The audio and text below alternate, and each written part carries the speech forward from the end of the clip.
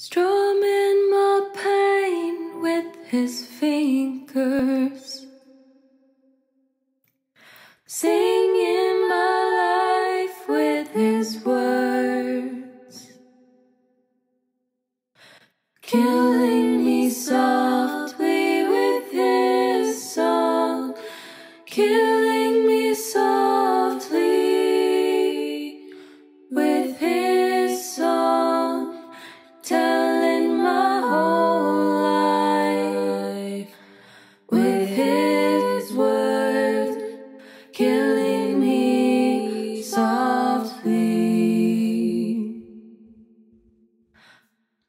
with his song. Do